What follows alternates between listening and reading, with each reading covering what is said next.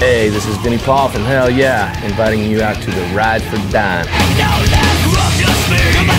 What's up, it's Tomcat. Hey, it's Bob Zilla. From the band Hell Yeah. We'd love to be there with you guys, but we're going to be on tour on the Uproar Festival. Do a Blacktooth, get your pull. For more info, go to ridefordime.org.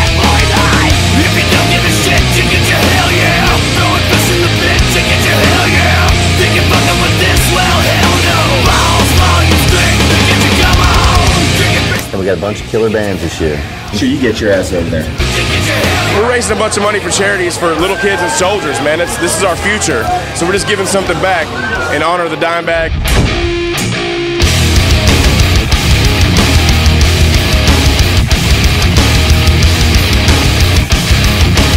Go to ridefordime.org for all the information on who's performing and also on how you can win this original one of a kind piece of rock and roll history. All right, this hood is going to be autographed by rock stars as well as the rock stars of the NASCAR world. Register to win the Dean Guitars 2010 Ride for Dime hood on the 73 car with Stratus Racing. Kerry King from Slayer. Show your shredder soul and do it like Dime.